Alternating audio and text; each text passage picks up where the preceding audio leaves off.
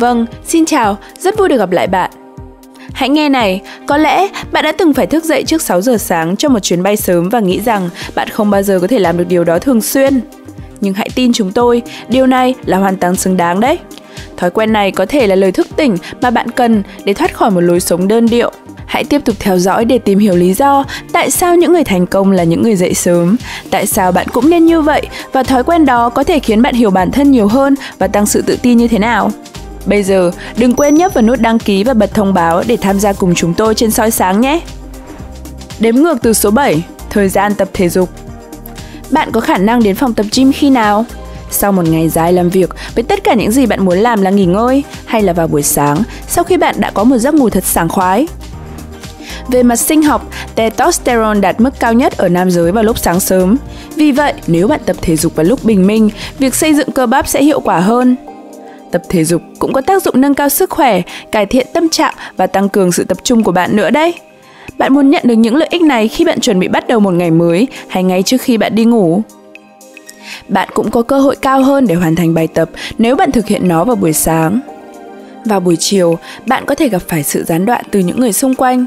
Một công việc mới được giao có thể khiến bạn tan làm muộn, hoặc bạn có thể phải giúp con mình làm bài tập về nhà.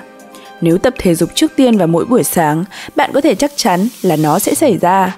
Một lợi ích nữa đó là bạn càng đến phòng tập sớm sẽ càng có ít cơ hội cho ai đó chiếm lĩnh máy chạy bộ yêu thích của bạn.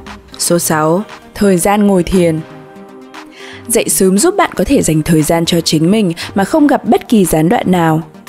Nếu bạn sống cùng trẻ em hoặc với một gia đình lớn, sẽ khó để có được sự bình yên và tĩnh lặng suốt cả ngày đấy. Nếu làm việc trên 8 tiếng mỗi ngày như kế hoạch, ngay khi bạn về nhà, còn bạn đang ở đó và đang mong chờ bữa tối. Sau đó, bạn dành phần còn lại của buổi tối để làm việc nhà hoặc nghỉ ngơi cùng gia đình. Mọi người đều cần một chút thời gian dành riêng cho bản thân. Nếu không thể lồng ghép nó vào lịch trình của mình, bạn có thể đạt được điều đó bằng cách dậy sớm đấy. Trong những khoảnh khắc yên tĩnh của buổi sáng đó, khi không có ai và điều gì có thể làm phiền, bạn có thể tự tĩnh tâm làm điều mình muốn hoặc ngồi thiền. Thiền là cách để giảm căng thẳng và lo lắng, cải thiện giấc ngủ, giúp khả năng tự nhận thức tốt hơn và cho bạn cảm giác bình yên. Ngồi thiền trước tiên vào sáng sớm còn có thể thay đổi cách bạn giải quyết công việc trong ngày nữa. Số 5. Ngủ ngon hơn Ngủ sớm và dậy sớm cũng rất tốt cho giấc ngủ của bạn. Nếu bạn dậy sớm, bạn sẽ tiêu hao nhiều năng lượng từ đầu ngày và đồng hồ năng lượng của bạn có thể nói sẽ trở nên cạn dần cho đến cuối ngày. Tới 9 giờ tối, bạn có thể đã sẵn sàng gục xuống giường rồi đấy. Bạn sẽ thiếp đi ngay khi đặt đầu mình vào gối và ngủ say suốt đêm. Đây là sự lựa chọn tốt hơn nhiều so với việc thức trắng đêm vì bạn ngủ quá giấc trước đó hoặc quá mệt và muốn đi ngủ nhưng lại không thể.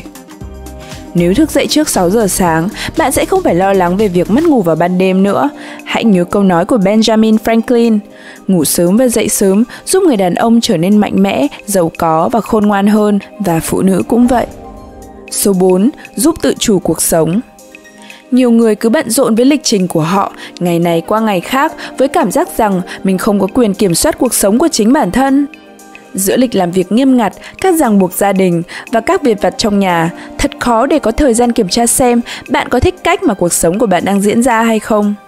Thức dậy trước 6 giờ sáng sẽ cho bạn khoảng thời gian và cảm giác rằng bạn có thể kiểm soát cuộc sống của chính mình. Khoảng thời gian yên tĩnh này sẽ cho phép bạn lắng nghe bản thân về việc bạn cảm thấy như thế nào, điều bạn muốn làm trong ngày hôm nay là gì, hay bạn muốn đạt được điều gì đó thật đặc biệt hay không. Bạn cũng có thể đặt mục tiêu cá nhân nữa cách chào đón ngày mới này chủ động hơn rất nhiều so với việc chỉ đơn giản thức dậy, sửa soạn, đi làm, nghỉ ngơi và sau đó lặp lại lịch trình này vào ngày hôm sau. Không phải là ngẫu nhiên mà nhà sinh vật học từ trường đại học Harvard Christoph Brandler cho rằng những người dậy sớm thường chủ động hơn và nhận định rằng tôi thấy mình có trách nhiệm với mọi thứ xảy ra. Số 3. Khai phá năng lực sáng tạo của bạn nếu bạn làm việc trong các lĩnh vực sáng tạo như hội họa, viết lách, mỹ thuật hay làm phim, dậy sớm sẽ rất có lợi cho bạn đấy. Người ta nói dậy sớm khiến tinh thần sảng khoái là có lý do cả. Một trong số đó là bộ não của bạn nhanh nhạy nhất vào buổi sáng.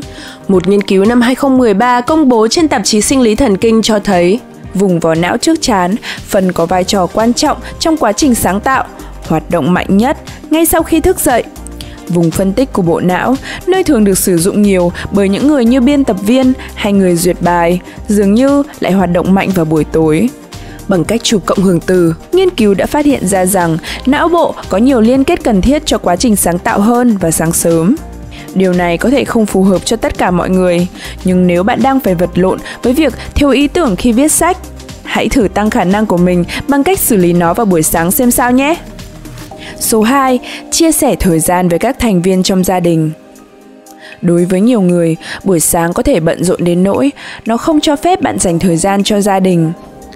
Mọi người đều vội vã sửa soạn, cố gắng đón xe buýt đến trường và nơi làm việc đúng giờ. Điều này có nghĩa là các gia đình hầu như không tương tác với nhau vào buổi sáng, không có sự kết nối và mọi thứ, từ việc chuẩn bị bữa ăn sáng đến nói lời tạm biệt, đều được thực hiện một cách gấp rút. Nếu bạn muốn gần gũi hơn với gia đình của mình nhưng không kiếm đâu ra thời gian thì buổi sáng là thời điểm tuyệt vời để kết nối mọi người và bàn xem ngày hôm nay sẽ diễn ra như thế nào. Nếu có những bất đồng trong gia đình về lịch trình hàng ngày, bạn có thể xem xét lại vào buổi sáng.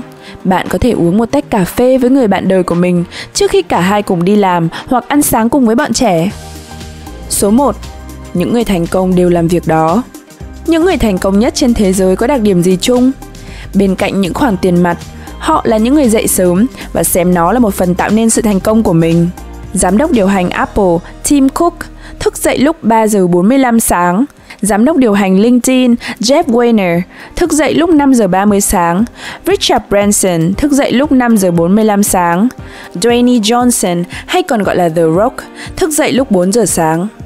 Những người thành đạt này dậy sớm để họ có thời gian tập thể dục, thiền, đọc báo, bắt kịp các sự kiện trên thế giới và định hướng công việc trước khi đi làm.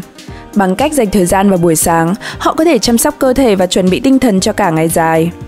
Thói quen dậy sớm cho phép họ thiết lập các mục tiêu thường nhật và tránh việc lặp lại một lịch trình đơn điệu trong công việc. Bạn đã bị thuyết phục rằng dậy trước 6 giờ sáng là điều tốt nhất cho bạn hay chưa? Nếu muốn khám phá tất cả các lợi ích của việc dậy sớm, việc thay đổi giờ giấc có thể khiến bạn nản lòng đấy. Nhưng bạn có thể làm điều đó với những mẹo sau. Hãy bắt đầu đi ngủ sớm, đừng rút ngắn số giờ ngủ đã được khuyến cáo trong nỗ lực nhằm thức dậy vì nó sẽ phản tác dụng đấy. Ngủ từ 7 đến 8 tiếng nếu bạn là người trưởng thành, còn với trẻ em, hãy ngủ từ 8 đến 10 tiếng. Nếu có thể, hãy ra ngoài vào sáng sớm, Đồng hồ sinh học hoạt động dựa trên ánh sáng ban ngày, do đó đón lấy một chút ánh nắng mặt trời khi bạn thức dậy sẽ giúp nó được cài đặt lại và khiến bạn dễ dàng dậy sớm hơn. Đừng ngủ nướng vào cuối tuần. Nếu bạn dậy sớm vào các ngày trong tuần nhưng lại ngủ đến 10 giờ sáng vào cuối tuần thì cuối cùng bạn sẽ cảm thấy thật tồi tệ. Chẳng bao lâu bạn sẽ từ bỏ thói quen dậy sớm thôi. Ngủ nướng có thể làm rối loạn đồng hồ sinh học và cho bạn cảm giác như bị tranh lệch múi giờ vậy. Vâng, điều đó không vui đâu. Vì vậy, ngay cả khi bạn quyết định ở lại trên giường, hãy tiếp tục dậy sớm vào cuối tuần nhé. Vậy, hãy nói với chúng tôi nào các thành viên của soi sáng. Bạn sẽ làm gì với buổi sáng của mình nếu bạn thức dậy trước 6 giờ? Hãy cho chúng tôi biết ở phần bình luận nhé. Đừng quên cho video này một like, chia sẻ nó với bạn bè của bạn và nhấp đăng ký để tiếp tục đồng hành với soi sáng nha.